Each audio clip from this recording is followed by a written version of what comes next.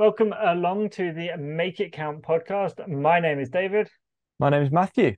And we are the Taylor Bros. Indeed, we are.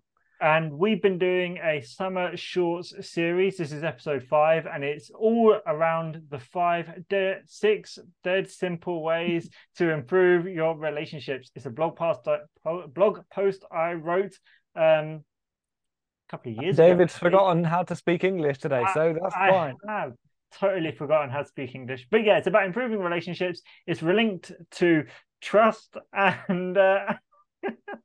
and how to improve relationships because trust is a key part of relationships and everything we do is either a deposit or withdrawal from that relational bank account. That emotional is the emotional bank account isn't it?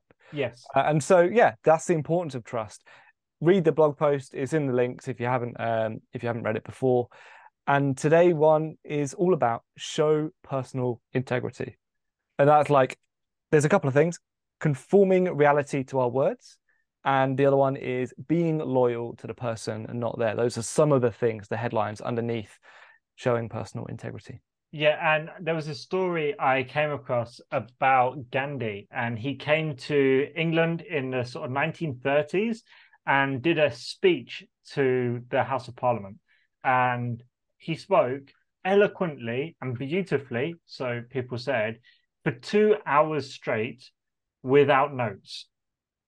Wow. And afterwards, people were like, How did you do that? And they talked to someone who knew Gandhi really well. And they said, You know, how was he able to speak for two hours so beautifully, so eloquently, and without notes? Like, that's incredible.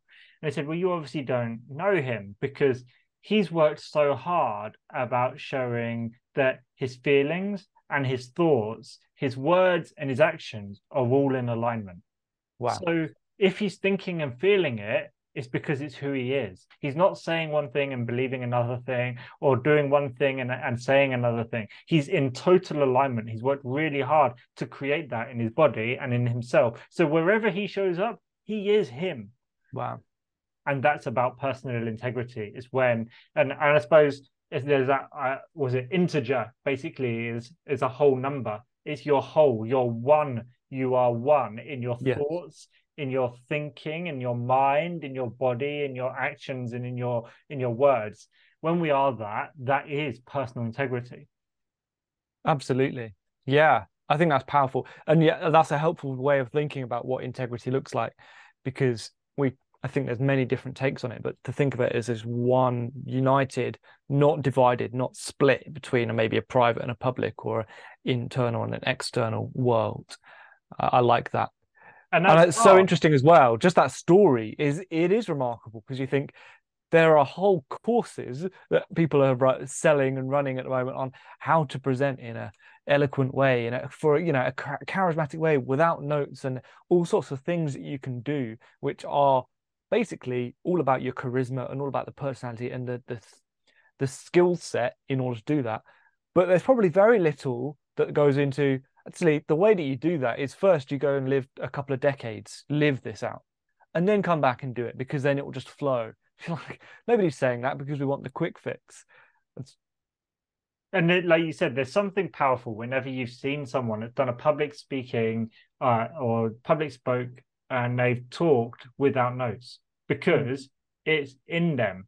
And there's a you know, so there's some people that will just memorize it, but actually, there's somehow more powerful if it's just, hey, they know this, they know how to communicate really well because, as you said, they've lived it, and it it's also a bit of a sad thing that for so many of us, like that idea of being one in our thoughts, our actions, our words, feels so foreign and so difficult because we have these forces on us and our pressure of like hey in this situation this is kind of what these people are expecting from me. So i'll sort of you know share share this there and then over there i'll say that. And you know we're, we're a bit chameleon like but actually there's a and it can feel scary to put ourselves out because if we're a chameleon over here and they don't like that well they've rejected a not real me. And if i'm a bit chameleon over here and they reject that uh, they've rejected a not real me. But actually if if I'm me and I show up and they reject it, it's like well they're rejecting actually my oneness, my integrity, who I am. Yeah. Um, but that also operates freedom because actually when people can trust who you are and that you are not putting up a facade there is a deeper trust and a relationship there and i, I suppose that's why personal integrity is important um, because what we say matters and when people trust us because what we say and communicate and who we are and what we think and believe are aligned that is powerful absolutely i've got a couple it's not really a full story but when it comes to conforming reality to our words we uh, we have a shared uh, mutual friends, Dan and Susie Potter. I, I, remember Dan saying once, sometime in the last year, that he he respects um, you and me as well for living out some of the things that we talk about when it comes to just healthy ways of living. We're talking about sleep and exercising and journaling, and how we're not just talking about them, but we we live them out. And mm. so, you know, for me, that looks like I I have some stuff on my phone which pretty much shuts off all of like the the social media, all of the most communication, internet access in the evening, so that I then okay now it's time to wind down. Now it's time to get to bed, and that can be a faff sometimes, especially if you know I'm on the phone to someone. It's like, uh, just by the way, uh, this is gonna end in like five minutes, so time for me to go to bed, or you know, and that can be a, a personal cost but it is i want to live out i want to conform the reality to what i've said my my words are my intention is to get a good night's sleep every every mm. night and to go to bed early well i've made this so that it helps me to conform. It and he said i respect you guys for that. You guys are some of the only people i know that actually live this stuff out. I, I find the second one though you know be loyal to the person out there. I want that. I think I want that to be more true of me than it is. Hmm. I'm much more likely to just be silent about the person that's not there when the because you get it. And you get it in the, the workplace you get it in the football team you, you hear it all the time. And it's not necessarily out and out slander but it's little digs and little sly comments about people that aren't in the room you know. Oh they did that again or oh they've got the slippery shoulders nothing sticks on them or you know that and we love it. I, we love it because it means that we're in on the little gossip or we're the, we're not the one being attacked so we're in the group. And and I try not to say bad things about other people when they're not there although I undoubtedly have complained about people not in the room hmm. loads plenty too many times but the hardest thing is to stand up and go actually you know is this how we would speak about them if they were in the room mm. and I want I want to share something honoring about them especially because they're not in the room Hmm. Because you do know that if that's how you're speaking with about other people and that's the culture that you're in, well, what's happening when you're not in the room? Mm. You better well bet that some things are being said about you that you wouldn't best be pleased about. Yeah. And I'm not too fussed about that because I know i am not without my flaws, and there's probably justified justified criticism at me. But it would be nice if that was to my face because then I could improve, and it would be maybe the same thing to other people. Let's show each other the respect. And I think that is part of the thing. Maybe we're drifting a little bit, but that idea of to the face. And I think ultimately I want to be a person that it's easier to say it to my face yeah. than it is to say it behind my back. Yeah. Because there are some people, we all know this, sometimes we are those people that it's so difficult to tell us that thing that the only way it's going to come out is somewhere else.